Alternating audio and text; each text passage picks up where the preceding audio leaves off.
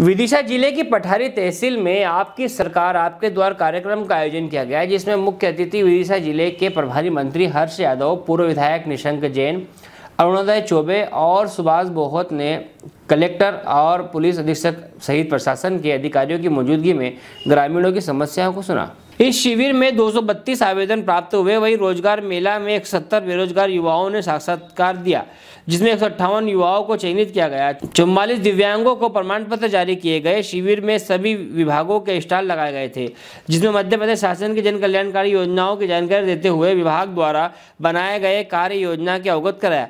विदिशा से आशीष सहले की रिपोर्ट। देखिएगा।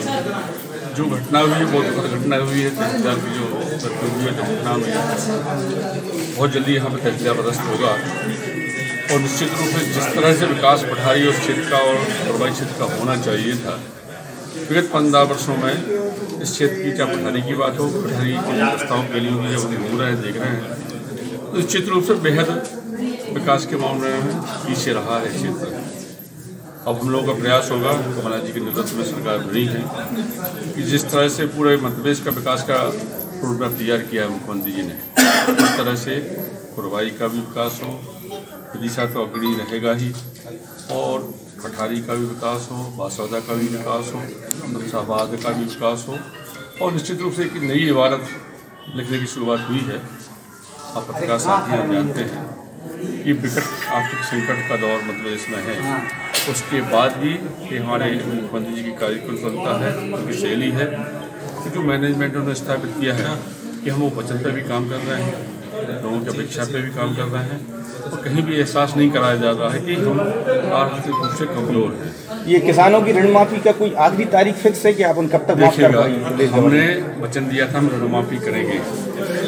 आज हमने पचास हज़ार रुपये तक का ऋण माफ़ कर चुके हैं हम लोग। दूसरा चरण हमारा इक्यावन हज़ार रुपये से लेकर एक लाख तक का अभी शुरू होने वाला है। शीघ्र ही विदिशा में बहुत बड़ा आयोजन आने वाले समय में एक हफ़्ते पंद्रह दिन में होगा। दूसरे चरण के बाद तीसरे चरण का हमारा लक्ष्य है। इस तरह से जो हमारा वचन है दो लाख किसान ऋण माफ़ करने का वो हमारी सरकार वचनबद्ध है पूरा करेगी।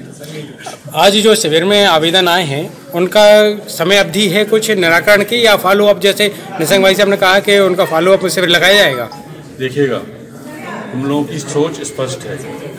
ना हम लोग कलाकारी की राजनीति करते हैं, ना प्रदर्शन की राजनीति करते हैं, ना घोषणाओं में विश्वास करते हैं। निश्चित रूप से हम लोगों की सोच है, हमारी सरकार की मुखिया की सोच है, वही हम लोग के विधायक चाहे मंत्री हैं, चाहे पार्टी के लोगों की सोच है। कि समाज के अंतिम व्यक्ति तक शासन की योजना का लाभ मिले, यदि वो पात्रता में आता है, उसकी योग्यता में आता है तो उस योजना का लाभ उसको मिले।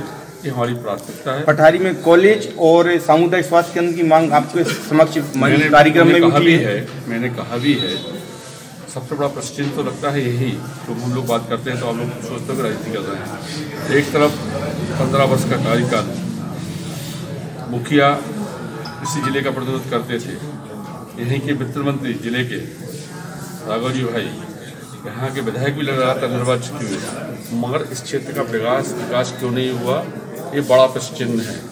निश्चित रूप से हमारा सोच, हमारे मुख्यमंत्री जी का सोच इससे हटके है और निश्चित रूप से जो विकास की अवधारणा हम लोगों ने शुरुआत की है, उसमें चाहे सामुदायिक भवन की बात हो, चाहे जो अन्य मांगों की बात हो निश्चित रूप से पूरी आखिरी सवाल मांग कि अभी महाराज जी से जैसे सौजन भेंट हुई है, उसमें महाराज जी ने दो निर्देश दिए हैं, एक गौशाला के लिए और दूसरा आंगनबाड़ी में जो अंडे वितरण की बात को लेकर विरोध ज़ाहिर किया है। इसको आप किस तरीके से उठाएँगे और इसमें कहाँ तक सफलता मिलती की उम्मीद है? भारतीय जनता पार्टी राम मंदिर और गौसा गौशाला के नाम पर राजनीति करती रही, गाँव के नाम पर राजनीति करती रही। एक वर्ष के कार्यकाल में हमने जो वचन दिया था कि एक हज़ार हम गौशालाएँ बनाएँगे, वो हमने पूरे किए हैं। आने वाले समय में बहुत सारी गौशालाएँ हम लोग स्थापित करने वाले हैं। निश्चित रूप से हमारी सरकार की, मुख्यमंत्री जी की स्पष्ट सोच है और हम लोग की सोच है कि गौशालाओं पर बेहद काम हो। और हमारे आचार्य श्री ने, महाराज जी ने जो कहा कि महाराज जी का भी यही सोच है, हमने अपने क्षेत्र में भी शुरुआत की है। गौरझामर में हो, चाहे देवरी में हो, चाहे आपके अन्य जिलों में हो। आचार्य श्री का जो सोच है, उनका आशीर्वाद जो हमारे मुनि जी का कहना है। संत जी का कहना है। उस पर सोच है। और निश्चित रूप से गौशाला बनना ही चाहिए। उसके लिए हमने जो भी सामने जो प्रस्ताव आया था, उसको निर्देश दिए हैं। जैसे वो प्रस्ताव पूर्ण होकर आएगा गौशाला बन जाएगी। जहाँ तक अंडे की बात है, अंडे के मामले में सरकार विचार कर रही है उसको वितरण न करने के लिए। आगे जो भी होगा सीखे निर्णय लिया जाएगा। ठीक है। हेलो फ्रेंड्स आप देख रहे हैं हमारा channel S W twenty four news हमारे सारे वीडियो सबसे पहले देखने के लिए आप हमारे चैनल को सब्सक्राइब करें और पास में लगे बेल आइकोन को दबाना बिल्कुल भी ना भूलें।